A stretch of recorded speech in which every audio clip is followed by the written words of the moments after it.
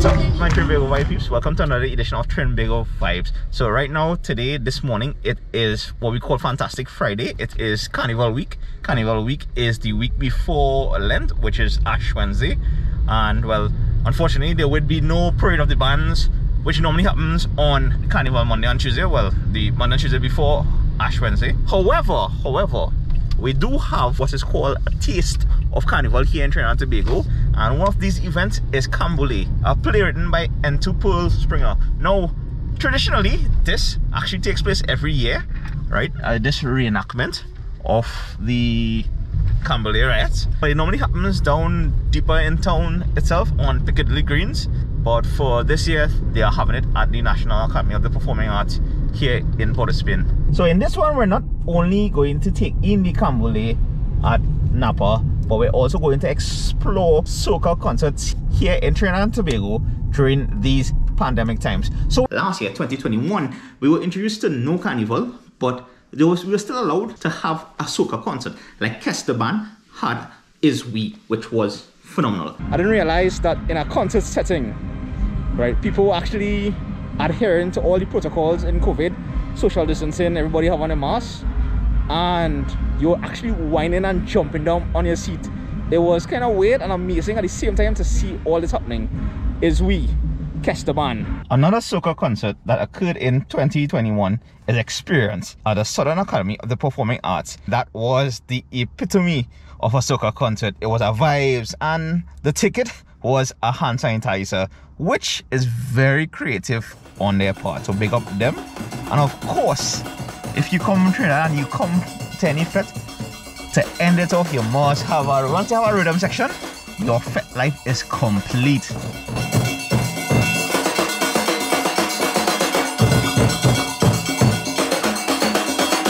all right so we have to talk about our figures. So as of last year last year we was getting between 10 and 15 cases per day covid-19 positive cases this year it's 500 or 700 a ah, day daily so yeah positive cases increasing. However last year last year around this time february time only 0.01 percent of our population had the first dose of the vaccine right? Now we are over 51 we are 51 percent vaccinated fully vaccinated and 52 percent at least have the first shot booster shot. So those are some things to take in consideration don't mind our numbers are kind of high for a small country of 1.4 million people anyway you just saw some vibes last year so let's go take in a little 2022 concerts right we're, we're gonna hit one in Movie Town and the next one will be right here behind me which is the Queen's Park Savannah. This is Erphaan Alves Ide. He was basically doing four concerts today all, all throughout Trinidad so this will be interesting. This is last stop Jack's Movie Town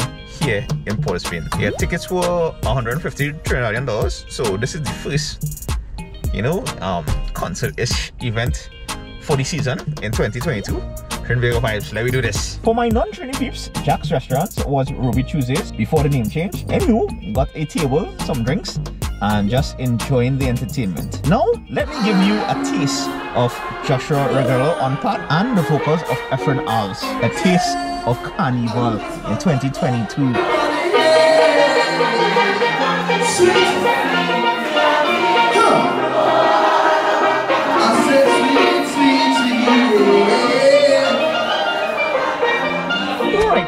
Was some amazing stuff by Erphaan Alves and the whole entire cast. And now we're going to head to Vibes with Voicey at the Queen's Park Savannah, the Grandstand.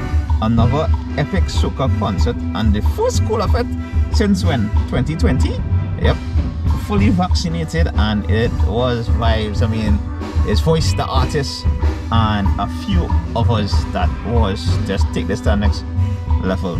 Now if you made it this far in this video, I want to, I want to thank you all for the support and the love that you share by clicking that like button. I'll greatly appreciate it. Alright, this was how it, the vibes are in 2022.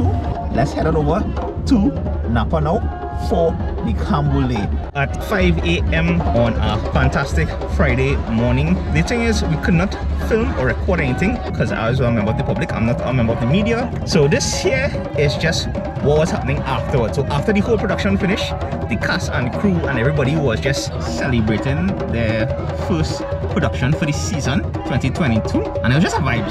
So in summary, right? This production, this display basically shows you all aspects of the people, how life was back then, just before the riots, what happened, and then the actual riot itself.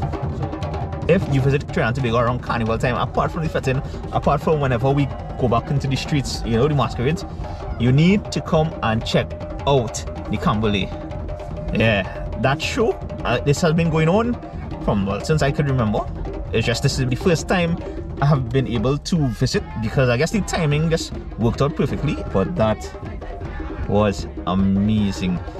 And it goes to show sometimes in history how history is written by the winners in terms of there were certain things that are left out during carnival. Because like i mean come on when, when we in school i'm sure they'll tell you you know this carnival was originally the european thing and then we basically take it over as a resistance. But it had more to that and this reenactment of the Canboulay riots back in 1881 explains all that. And it, they did a fantastic job boy. That production actor shout out the Idakeda group and shout out Miss Eintou Pearl Springer for writing and producing that production. I want to say thanks to my wonderful cast, most of them such young people. Give them